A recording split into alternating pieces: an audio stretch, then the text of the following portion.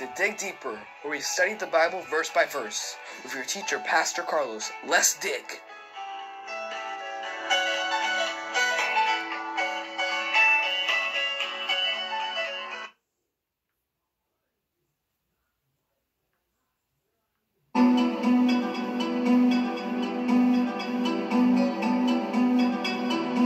On the day of Pentecost, all the believers were meeting together in one place. Suddenly, sound from heaven like the roaring of a mighty windstorm, and it filled the house where they were sitting. Then, what looked like flames or tongues of fire appeared and settled on each of them. And everyone present was filled with the Holy Spirit and began speaking in other languages as the Holy Spirit gave them this ability. At that time, there were devout Jews from every nation living in Jerusalem, and when they heard the loud noise, everyone came running. They were bewildered to hear their own languages being spoken by the believers. They were completely amazed. How can this be? They exclaimed. These people are all from Galilee, and yet we hear them speaking in our own native languages, and we all hear these people speaking in our own languages about the wonderful things God has done. They stood there, amazed and perplexed. What can this mean? They asked each other. But others in the crowd ridiculed them, saying, They're just drunk, that's all. Then Peter stepped forward with the eleven other apostles and shouted to the crowd, Listen! Listen carefully, all of you fellow Jews and residents of Jerusalem. Make no mistake about this. These people are not drunk as some of you are assuming. Nine o'clock in the morning is much too early for that. No, what you see was predicted long ago by the prophet Joel. In the last days, God says, I will pour out my spirit upon all people. Your sons and daughters will prophesy, your young men will see visions, and your old men will dream dreams. Good evening, everybody. Welcome to Dig Deeper. I pray you're having a very blessed evening in the Lord. Jesus loves you a great, great deal. Well, go welcome, and if you've never subscribed to Dig Deeper, please subscribe, click notification, and share this video with as many people as possible. This evening, we're going to be starting here on Dig Deeper the book of as you saw there at the day of Pentecost, the fire uh, of the Apostle Peter used that as an example, uh, quoted from the book of, of Joel, chapter 2. And so, the book of Joel, the day of the Lord is at hand, a call to repentance, a message for America. Let us drink our water. We're going to talk about that. We're starting this journey in the book of Joel here on Dig Deeper. Let's drink our water. Salute. All right. I hope you're ready. I hope you're ready to get into God's Word. All right.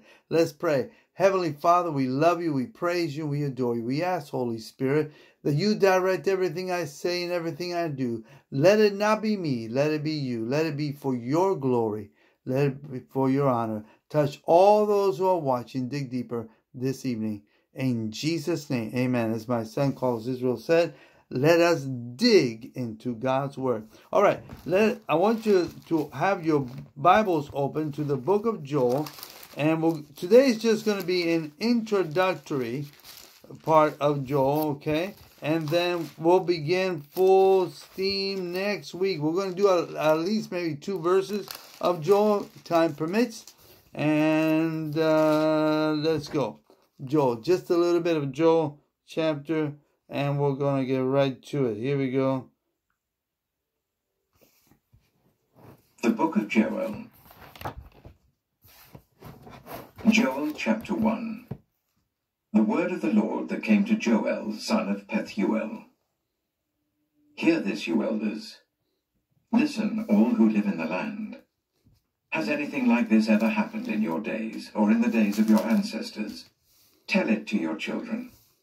And let your children tell it to their children, and their children to the next generation.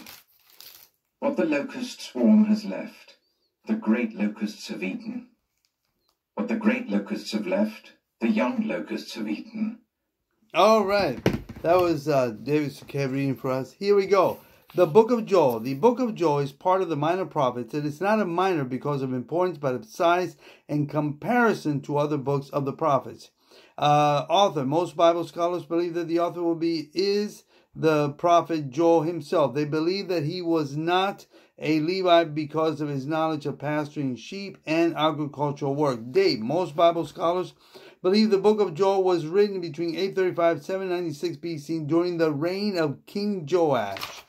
All right, the setting. The setting of the book of Joel was during the military attack by Tyre and Sidon in Philistia. Uh, also, there was a locust invasion that brought severe economic devastation. The theme, the main theme of the book of Joel is the day of the Lord. You'll hear that over and over.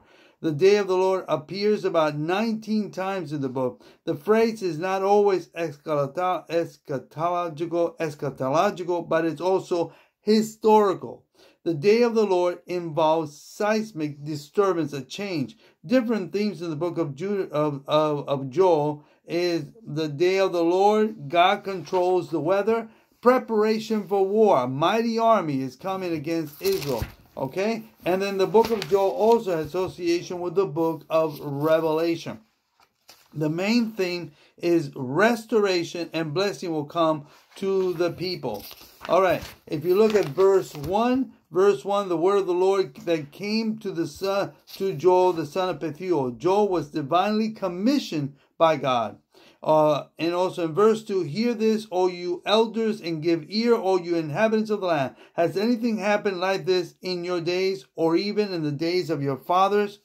The nation of Israel was, a, was found guilty and ready for the wrath of God. The leaders were exhorted to lead people to repentance.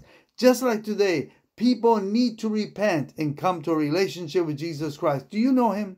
If you don't, I want you to pray right now Repent of your sins, receive Jesus as Savior and Lord. Say, Dear Lord Jesus, I repent of my sins. I receive you as my Savior and my Lord. Come into my heart and make me a new creature. In Jesus' name, amen. Heavenly Father, I pray for every single person to say yes to you. Fill them with your Holy Spirit. In Jesus' name, amen.